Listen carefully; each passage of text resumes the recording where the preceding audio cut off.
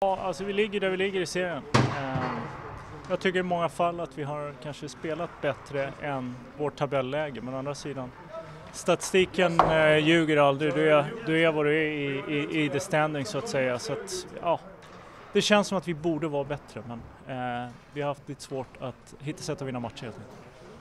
Ni är ju i en, i en rebuild, men pratar ni alltså, i laget och gruppen om att det är en rebuild, eller hur, hur pratar ni om situationen ni är? Nej, det kan jag inte säga. Eh, för oss, eh, det finns inga ursäkter utan jag tycker fortfarande att, att eh, vi har ett lag som, som ska kunna vara med och slåss om en slutspelsplats. Eh, nu är vi bra bitar ifrån just nu, eh, så att vi har inte varit tillräckligt bra när det behövs som mest. Tror ni fortfarande att det finns möjlighet? Alltså det är många, många poäng upp ju.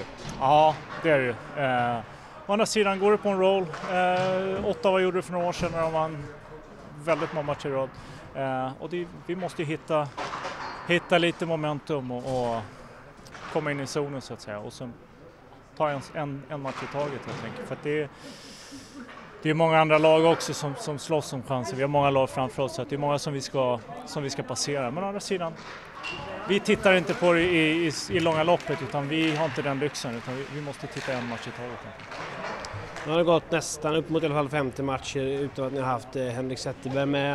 Eh, hur är det som, som kollega och som, som vän att se, se honom inte kunna spela nu? Eh, det är klart man lider med honom. Eh, det, det är ju vad det är. Eh, jag tycker det är jättetråkigt att han inte kan spela hockey längre. Eh, och jag vet att han saknar ju hockeyn jättemycket. Eh, å andra sidan så det är vad det är. Eh, Verkligheten kommer ikapp alla och tyvärr är det så för vissa att de tvingas lägga av i förtid. Ehm, det är synd för hade han varit med nu då hade han varit fortfarande en av ligans bästa spelare. Hur, hur ser du på din egen roll nu? Du har varit med väldigt länge, ehm, är en av kaptenerna. Hur har du vuxit i det här eller vilket ansvar har du tagit eller hur ser du på din roll som det här? Alltså i, med tanke på Zätas, eh, jag tror inte jag har ändrats något speciellt om jag ska vara ärlig. Jag hoppas inte det. Eh, eh, jag har försökt att vara samma som jag alltid har varit. Eh, varken mer eller mindre så att, eh, jag tror inte att min roll har ändrats märk, märkbart. Jag läste lite att det var några trade-rykten om dig. Jag vet inte hur, hur du ser på det eller vad, vad, vad du kan säga om det överhuvudtaget. Nej, alltså det, det har ju till uh, the business så att säga. Uh, och det var det jag har väl haft, haft lyxen och förmånen att, att, att inte vara involverad i kanske så mycket uh, sånt snack tidigare. Men det var det uh, och vi får se vad som händer helt enkelt. jag trivs såklart jättebra i Detroit. Uh, alltid satt ett högt pris att alltid vara kvar i, i samma klubb. Men, vi får se, det, det är lite utanför min kontroll. Skulle du se det ändå som en, som en möjlighet att göra det?